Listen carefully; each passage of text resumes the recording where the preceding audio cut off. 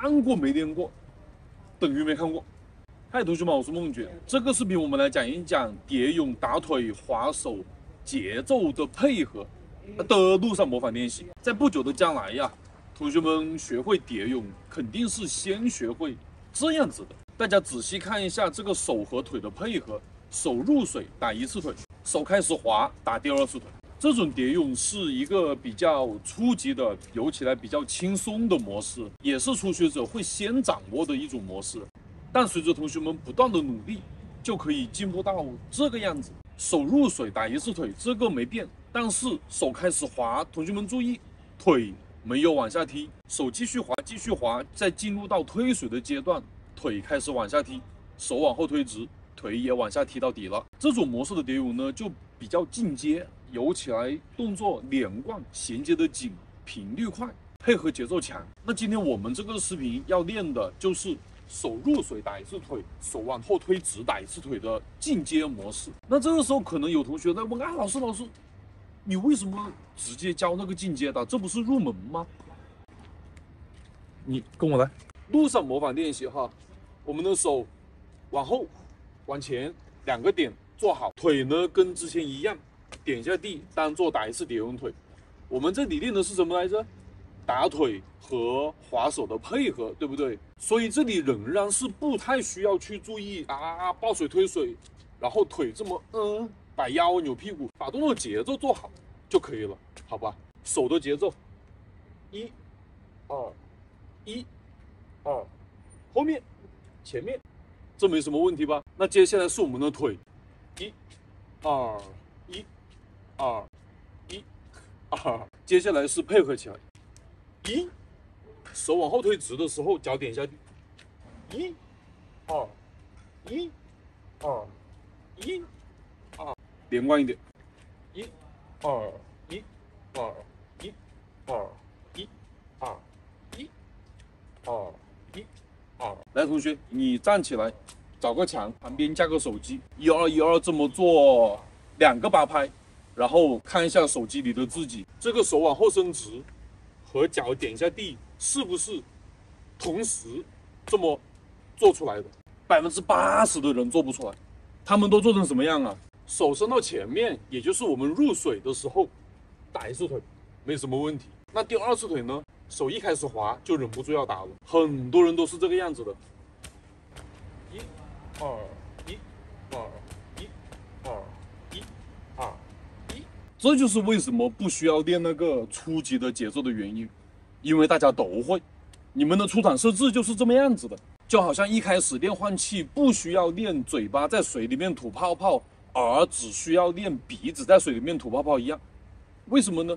谁不会嘴巴在水里面吐泡泡啊？谁不会呀？是不是？你一跟他说来去水面吐泡泡，有几个人会直接用鼻子吐啊？好，手入水，前伸，打一次腿。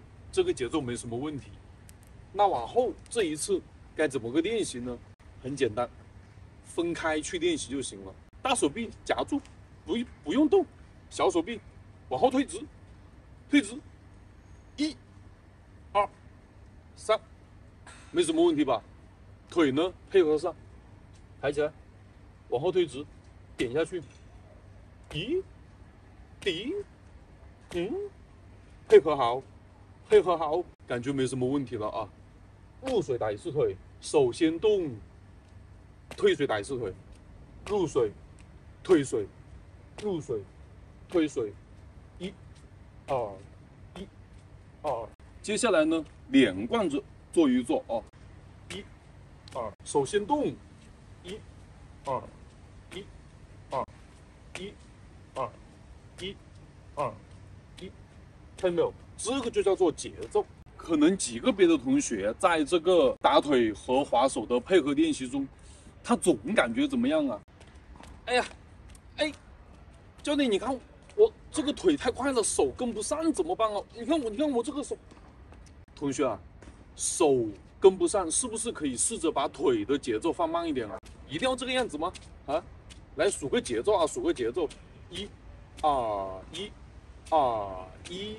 二一，二一，二一，二一，二一、二。再接下来一步，我们在水中游蝶泳淡滑手，不是抬头换气的啊，那个太累了，像那个自由泳一样转头换气。所以这里呢，我们加上换气的配合，手往后滑，侧身，转头，跟那个自由泳一样啊。一、二，加上腿。一、二、一、二、一、二、一、二，两边都要练习。一、二、一、二。那在练蝶泳单滑手的过程中，一次划手，一次换气啊。没那个必要，气还够，而且脑壳啊也容易晕。两次划手，一次换气。一、二、三、四、一、二、三、四、一、二，将。同样啊，两边都要练习。我们蝶泳入门啊，对于初学者来说，虽然它入门的门槛很高，但那个只是力量门槛，并不意味着你不可以开始去练蝶泳。哎。那没有力量，我练蝶泳该练些什么呢？节奏。那 OK，同学们，这个视频的内容练起来一点都不难，但是它又很重要。这个节奏你在陆地上做不出来，在水里面是绝对做不出来的。那有的同学实在是不愿意在这个阶段去练这个东西，没关系，你记着有这个东西在。